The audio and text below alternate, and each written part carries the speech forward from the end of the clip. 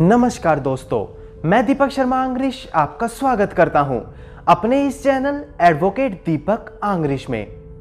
दोस्तों, वीडियो की स्टार्टिंग में मैं आपको एक बेहद ज़रूरी जानकारी देने वाला हूँ। दोस्तों, मैंने अपने सभी सब्सक्राइबर्स के लिए और व्यूअर्स के लिए एक वेबसाइट क्रिएट कर ली है। www.advocatedeepakanglish.com दोस्तों, इस वेबसाइट के अंदर आपको मैंने जितनी भी लीगल इंफॉर्मेशन से जुड़ी वीडियोस अपलोड की अपने यूट्यूब चैनल पर तो यहाँ पर दोस्तों आपको इस वेबसाइट के अंदर वो सभी वीडियोस यहाँ पर हिंदी फॉर्मेट में, यानी कि हिंदी लैंग्वेज के अंदर आपको यहाँ पर पढ़ने को मिल जाएगी। जिससे आपको फ़ायदा ये होगा दोस्तों कि आपकी जितनी भी लीगल क्वेरीज है या फिर आप किसी लीगल टॉपिक पर इंफॉर्मेशन गेन करना चाहते हैं तो वहाँ पर आप उन्हें सिंपल हिंदी लैंग्वेज के अंदर पढ़कर वो जानकारी आप वहाँ से प्राप्त कर सकते हैं। तो चलिए दोस्तों हम बढ़ते हैं आज की इस वीडियो की ओर। दोस्तों, आज की इस वीडियो के अंदर मैं आपको लीगल इंफॉर्मेशन से जुड़ी एक बहुत बड़े टॉपिक पर जानकारी देने वाला हूँ। जी हाँ दोस्तों, मैं आज आपको लीगल नोटिस के ऊपर जानकारी दूँगा। दोस्तों, मैं आपको पहले ही बता दूँ, जो लीगल नोटिस है, टॉपिक है जो, ये काफ़ी बड़ा टॉपिक है। तो इसे एक वीडियो के अंदर कवर कर पाना बेहद मुश्किल है। तो मैं यहाँ पर आपके लिए इस लीगल नोटिस से जुड़ी दो वीडियोस अपलोड करूँगा। दोस्तों, आज की इस वीडियो के अंदर मैं आपको बताऊँगा कि आखिरकार आप लीगल नोटिस होता क्या है। इसके बाद लीगल नोटिस कब और आप किसको भेज सकते हैं? इसके बाद बेसिकली जो दोस्तों यहाँ पर लोगों के मन में ये सवाल आता है कि लीगल नोटिस अगर आता है, उसे रिसीव करें या फिर ना करें? दोस्तों, आज की इस वीडियो के अंदर मैं आपको ये भी जानकारी देने वाला हूँ। इसके अलावा दोस्तों, मैं इसी टॉपिक से जुड़े आपको बेहद दो तीन ज़रूरी और जानकारी देने वाला हूँ। दोस्तों, वीडियो की स्टार्टिंग में मैं आपको एक बात और बता दूँ। अगर आपने अभी तक इस चैनल को सब्सक्राइब नहीं किया तो इसे जल्द से जल्द सब्सक्राइब कर लीजिए, क्योंकि इस चैनल पर हम आपके लिए रोज़ाना लीगल एडवाइस से जुड़ी वीडियोस अपलोड करते रहते हैं। तो चलिए दोस्तों, अब आज की इस वीडियो को हम स्टार्ट करते हैं।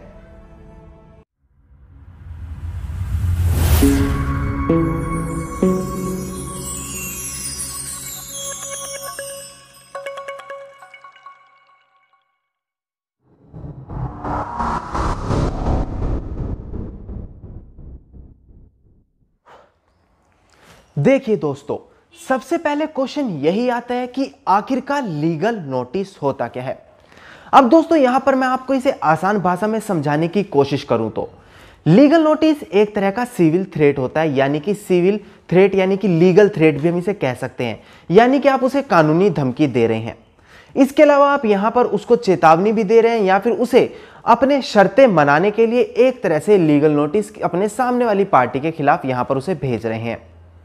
अब दोस्तों बेसिकली यहाँ पर होता क्या है? लीगल नोटिस जब भेजा जाता है, जब किसी विरोधी पार्टी ने, यानी कि सामने वाली पार्टी ने, का, देश के किसी कानून का उल्लंघन किया हो, और उससे या तो आपको फ़र्क पड़ रहा हो, या फिर इन फ्यूचर में उस चीज़ से आपको फ़र्क पड़ने वाला हो। तो बेसिकली दोस्तों, आप यहाँ पर उसके खिलाफ लीगल नोटिस यहाँ पर बनवाते हैं, किसी वकील के द्वारा या फिर खुद से भी। दोस्तों, यहाँ पर लीगल नोटिस के अंदर होता क्या है? आप लीगल नोटिस के अंदर ये चीज़ लिखते हैं कि उस व्यक्ति ने यहाँ पर देश के किसी कानून का उल्लंघन किया है, जिसकी वजह से आपको उस चीज़ से फ़र्क पड़ रहा है या फिर फ़र्क पड़ सकता है। अब दोस्तों, इसके बाद क्या होगा? आप यहाँ पर उसके सामने कुछ शर्तें रखते हैं लीगल नोटिस के अंदर कि अगर उसने आपकी इस इस तरह से ये सारी बातें नहीं मानी तो उसे यहाँ पर मुकदमा आप उसके खिलाफ कर देने वाले हैं। बेसिकली दोस्तों, यहाँ पर लीगल नोटिस लिखने के बाद आप कुछ समय सीमा उसके यहाँ पर तय करते हैं, जो बेसिकली 15 से 15 दिनों से लेकर एक महीने के बीच में होती है। आप यहाँ पर यह समय सीमा तय करते हैं, जिसके तहत अगर उसने यहाँ पर आपकी शर्तें नहीं मानी तो बेसिकली आप यहाँ पर उसके खिलाफ कानूनी कार्यवाही कर देते हैं। तो बेसिकली दोस्तों, सिंपल लैंग्वेज में आपको समझाऊं तो यही एक लीगल नोटिस का अर्थ होता है।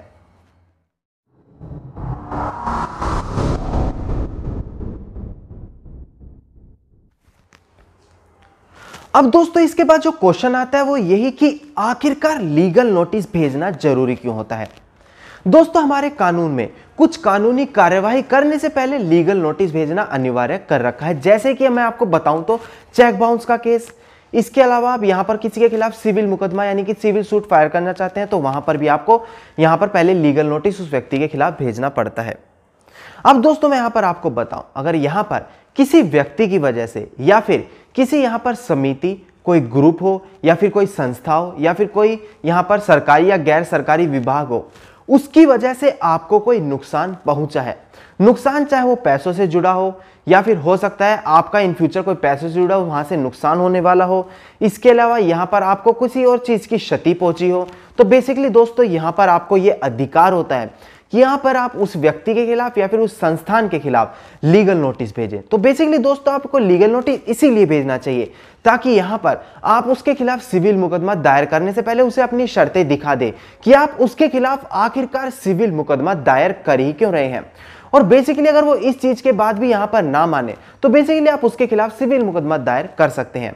तो बेसिकली दोस्तों, आपको यहाँ पर लीगल नोटिस भेजने का यही सबसे बड़ा कारण होता है कि आप सिविल मुकदमा दायर करने से पहले उसे अपनी शर्तें बताना चाहते हैं और ये चीज़ बताना चाहते हैं कि आखिरकार आप उसके खिलाफ ये मुकदमा दायर करने ही क्यों चाह रहे हैं?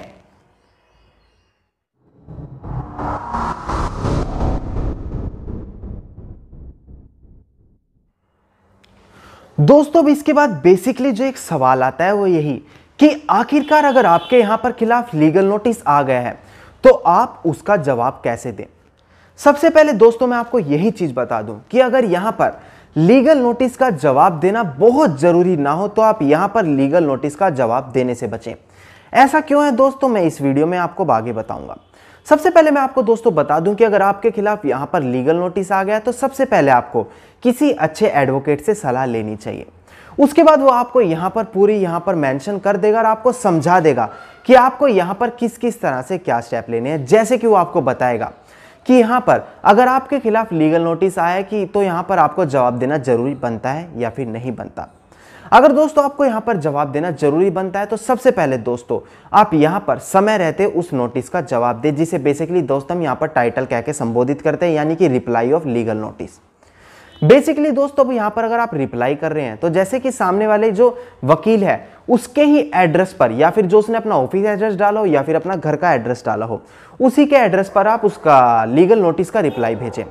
अब बेसिकली दोस्तों यहाँ पर जो लीगल नोटिस पर पारा नंबर होता है, उसी चीज़ को संबोधित करते हो आप, यहाँ पर लीगल नोटिस का रिप्लाई बेसिकली अच्छी तरह से करें।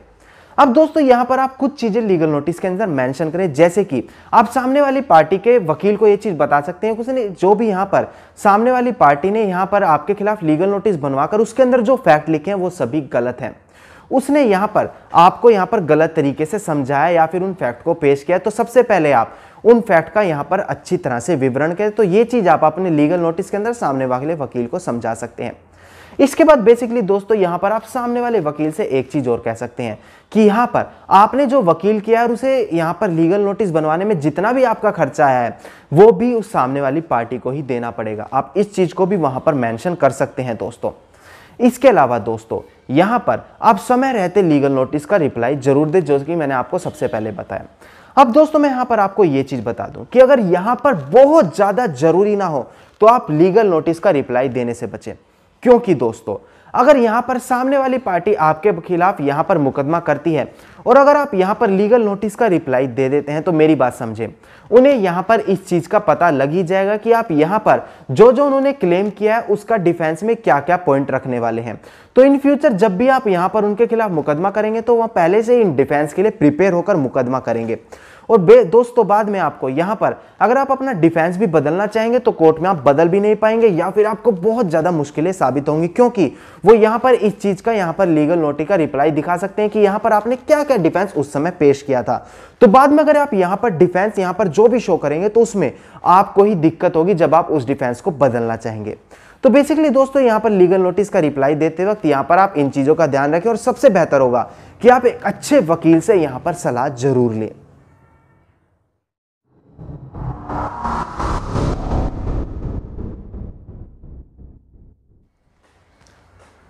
अब दोस्तों, जो इस वीडियो का सबसे मेन क्वेश्चन और यहाँ पर जो ज़्यादातर ट्रैफ़िक इसी क्वेश्चन के लिए है, वो यही है कि आखिरकार अगर आपके पास लीगल नोटिस आता है तो आप उसे रिसीव करें या फिर ना करें। दोस्तों, सबसे पहले आपको एक चीज़ समझ लेनी चाहिए कि अगर आपके यहाँ पर कोई द्वार पर लीगल नोटिस लेकर आ गया है तो आप चाहे उसे रिसीव करें या फिर ना करें। वहाँ पर एक रिपोर्ट यही बनकर जाएगी कि वो लीगल नोटिस आपके पास आया था, आपने उसे रिसीव नहीं किया। तो बेसिकली दोस्तों यहाँ पर लीगल नोटिस जो है वो रिसीव माना जाएगा कोर्ट की नज़र में। तो चाहे अगर आप उसे यहाँ पर लीगल नोटिस को रिसीव करते हैं या फिर उस लीगल नोटिस को रिसीव ना भी करते हैं तो उस कंडीशन में भी वो रिसीव माना ही जाएगा और यहाँ पर जो के, कोर्ट केस है उसे आपके खिलाफ यहाँ पर एक्सेप्ट कर लिया जाएगा। तो बेसिकली दोस्तों सलाह मेरी यही होगी कि आप लीगल नोटिस को रिसीव ये ज़रूर करें। ताकि आपको ये चीज़ पता लग जाए कि यहाँ पर आपके खिलाफ कौन कौन सी शर्तें मनवाने के लिए वो लीगल नोटिस भेजा गया और उसके अंदर क्या क्या चीज़ लिखी गई है। अब दोस्तों बेसिकली यहाँ पर कुछ और लीगल चालाकियाँ होती हैं जो आपको एक वकील ही बता सकता है। जैसे कि कुछ कंडीशन ऐसी होती है जहाँ पर आप लीगल नोटिस ना रिसीव करें, जैसे कि चेक बाउंस केस या फिर मनी से जुड़ा कोई मैटर दोस्तों बेसिकली चेक बाउंस होने के आपको एक महीने के अंदर लीगल नोटिस यहाँ पर भेज दिया जाता है। तो इस चीज़ का आप पहले से ही सतर्क रहे कि अगर यहाँ पर आपने जानबूझकर चेक बाउंस किया है तो उसके एक महीने के अंदर आपके पास लीगल नोटिस आ जाएगा। तो बेसिकली दोस्तों, यहाँ पर जब वो लीगल नोटिस आए तो बेसिकली आप उस एक रिपोर्ट को तैयार करके कोर्ट में भिजवा दें कि जो वो पता था, वो गलत पता था। तो यहाँ पर वो जो केस है, वो रजिस्टर माना ही नहीं जाएगा। तो बेसिकली दोस्तों, यहाँ पर आप उस केस से इस तरह से भी बच सकते हैं। क्योंकि दोस्तों बेसिकली होता क्या है, जब कोई चेक बाउंस करवाता है जानबूझकर तो इसे इस चीज़ का पता होता है कि उसके खिलाफ यहाँ पर लीगल नोटिस एक महीने के अंदर आ जाएगा। तो यहाँ पर, दोस्तों, अगर वो चलाकी करके ये चीज़ दिखाना चाहे कि यहाँ पर जो उसका रजिस्टर पता है वो गलत है तो यहाँ पर वो एक रिपोर्ट तैयार करके कोर्ट में ये भी भिजवा सकता है कि जो जिस पते पर यहाँ पर लीगल नोटिस भिजवाया गया है वो पता ही गलत है। तो इस केस में वो जो केस, वो जो करने वाला, वो रजिस्टर ही नहीं माना जाएगा। तो बेसिकली दोस्तों, ऐसे कुछ केस और कंडीशन होते हैं जहाँ पर लीगल नोटिस रिसीव नहीं करना चाहिए और कुछ कंडीशन ऐसी होती है, बल्कि ज़्यादातर कंडीशन ही ऐसी होती है जहाँ पर आपको लीगल नोटिस जो है रिसीव कर ही लेना चाहिए।